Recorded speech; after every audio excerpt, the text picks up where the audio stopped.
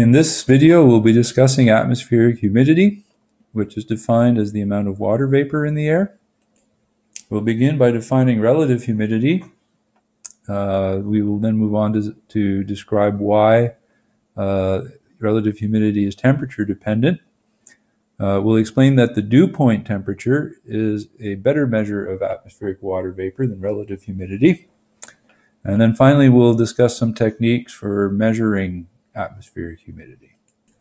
The key to understanding relative humidity in the atmosphere is the concept of uh, saturation. Uh, an air parcel that is saturated holds as much water vapor as it can possibly physically hold.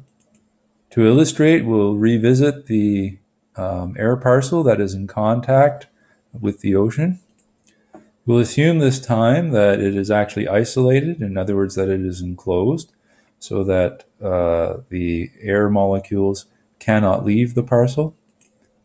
This parcel will eventually be in uh, vapor equilibrium, uh, and that actually means that it is saturated. That means that it holds, it will eventually hold the maximum amount of uh, water vapor that is possible. Realistically, this condition happens only in the very lowest layer of the atmosphere next to lakes and oceans. When you get slightly above the surface of the Earth, uh, the air parcels are actually unsaturated and only hold a certain percentage of the moisture that it is possible for them to hold.